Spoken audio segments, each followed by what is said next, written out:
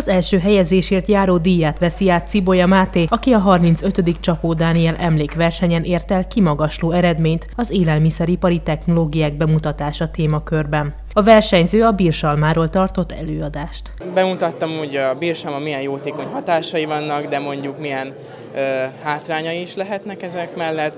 Bemutattam, hogyan készítettem el a bírsalma sajtomat, illetve hogy milyen variációkat lehet még készíteni a bírsalmából.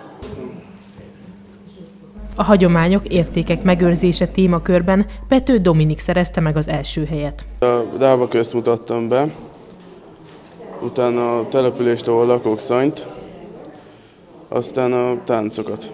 Az emlékverseny a 35 év alatt országos szintűvé nőtte ki magát. Idén a három szekcióban összesen 15 diák mérettette meg magát. A versenyzőknek egy dolgozatot kellett készíteniük, amit később előadtak. Mindezt pedig a zsűri értékelte. Olyan témákat vetnek föl a fiatalok, ami nem szorosan kapcsolódik a, a tanításhoz, a tananyagokhoz, tehát újszerű megközelítéseket mutatnak be, újszerű, újszerű technológiát, tehát itt bele kell mélyedjenek az irodalomba, tehát a szakirodalomba, akár külföldi szakirodalmat is olvasnak, és nagyon fontos kiemelni a felkészítők munkáját, akik koordinálják, és ezt egy dolgozattal mindig összegyúrják. Az igazgató továbbá elmondta, hogy a mezőgazdaság és az élelmiszeripar tehetséges utánpótlásához tartoznak azok a tanulók, akik részt vesznek a Csapó Dániel emlékversenyen.